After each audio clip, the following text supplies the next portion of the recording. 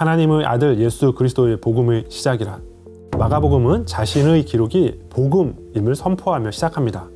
예수님께서 하나님의 아들이며 구약에서 내내 예언되어 온 바로 그 그리스도라는 사실이 참으로 복된 소식이라는 것입니다. 마가복음을 기록한 마가는 베드로의 통역사로 전해집니다. 이것이 마가가 예수님의 사역을 옆에서 지켜본 제자는 아니었지만 복음서를 기록할 수 있었던 이유입니다. 이렇게 베드로의 시각에서 기록된 예수님의 이야기인 마가복음을 길이라는 이미지를 중심으로 정리해 볼게요. 첫 번째 단락은 1장 1절부터 4장 34절까지입니다. 예수님께서 하나님 나라를 선포하는 단락입니다. 이 단락에서는 예수님께서 갈릴리와 가버나움을 이동하면서 복음을 전하고 병자를 고치십니다. 이에 온 갈릴리에 다니시며 그들의 여러 회당에서 전도하시고 또 귀신들을 내쫓으시더라.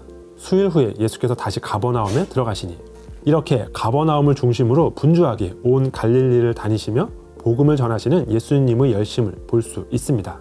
두 번째 단락은 4장 35절부터 8장 26절까지입니다.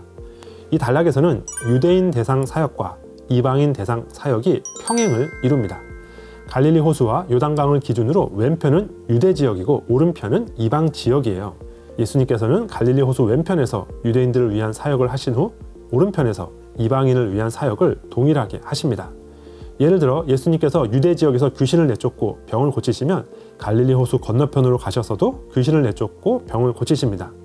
유대 땅에서 오병이어 기적을 펼치신 후에는 건너편에서 칠병 이삼호 기적을 펼치십니다. 세 번째 단락은 8장 27절부터 10장 52절까지입니다. 이스라엘의 최북단이라고 할 수 있는 빌립보 가이사랴에서 출발하여 예루살렘까지의 여정입니다. 이 단락은 예수님께서 길에서 제자들에게 자신의 정체를 밝히시는 것으로 시작합니다. 예수와 제자들이 빌립보 가이사랴 여러 마을로 나가실 때 길에서 제자들에게 물어 이르시되 사람들이 나를 누구라고 하느냐 그런데 제자들은 이 여정 중에 예수님의 가르침을 이해하지 못하고 자기들 중 누가 더 큰지 논쟁하기 바빴습니다. 가버나움에 이르러 집에 계실 때 제자들에게 물으시되 너희가 길에서 서로 토론한 것이 무엇이냐 하시되 그들이 잠잠하니 이는 길에서 서로 누가 크냐 하고 쟁론하였습니다. 이 여정은 맹인이었던 바디메오가 눈을 뜨게 되어 예수님을 길에서 따르게 되었다는 이야기로 마무리됩니다. 여전히 눈이 가려져 있는 제자들과 눈을 뜬 바디메오를 비교하는 것만 같습니다.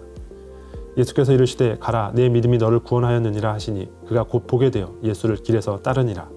네 번째 단락은 11장 1절부터 13장 37절까지입니다. 예루살렘에 도착한 후 순환 당하시기 전까지 예수님께서는 예루살렘 맞은편에 있는 감람산에 자리를 잡고 성전을 완복하십니다. 첫 번째 방문에서는 예루살렘 성전을 둘러보시고 두 번째 방문에서는 성전에서 매매하는 자들을 심판하십니다. 세 번째 방문에서는 성전의 완전한 파괴를 예언하십니다. 마지막 다섯 번째 단락은 14장부터 16장까지로 예수님의 순환과 죽음 그리고 부활의 이야기를 그리고 있습니다. 이렇게 길이라는 주제를 통해 마가복음을 살펴보면 복음의 메시지를 더 선명하게 볼 수 있습니다. 예수님께서는 우리에게 생명의 길이 되십니다. 마가복음은 우리에게 생명을 주시기 위해 예수님께서 걸어가신 길이 어떤 길인지 설명해 줍니다. 동시에 그 길에 대한 사람들의 반응을 보여줍니다. 그래서 우리를 구약의 이스라엘이 실패했던 길이 아닌 새로운 하나님 나라 백성의 길, 참된 제자의 길로 초대합니다. 바른미디어의 건강한 사역을 위한 동행이 필요합니다. 바른미디어 유튜브 멤버십 가입을 통해서 저희와 함께 하실 수 있습니다. 많은 분들이 바미와 함께 걷길 기대합니다. 감사합니다.